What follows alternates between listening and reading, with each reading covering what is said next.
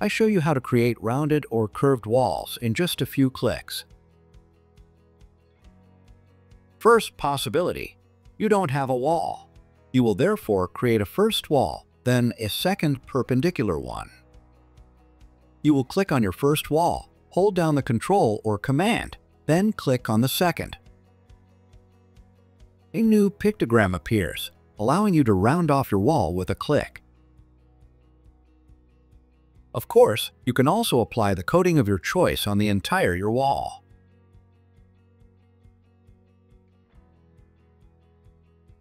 Second possibility, you want to curve the corner of a wall, but much smaller. To do this, divide the first wall, then the second. To divide, nothing could be simpler. Double-click on your wall. The wall was automatically divided.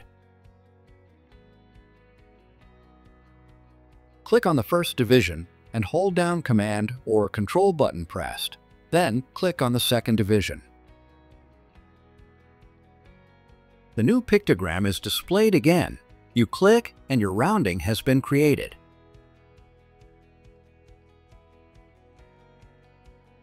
To you to play.